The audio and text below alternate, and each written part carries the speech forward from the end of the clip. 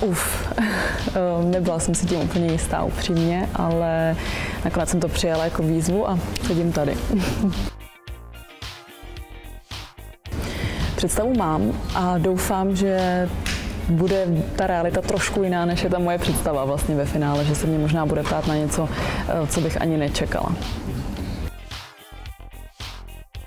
Mě by zajímalo, jestli ho vlastně furt zajímají lidi, protože už jich viděl tolik tady na té sračce a asi si všichni jako můžeme upřímně říct, že ne všichni lidi, které potkáme, nás zajímají. Myslím, že pan Kraus to má asi podobně.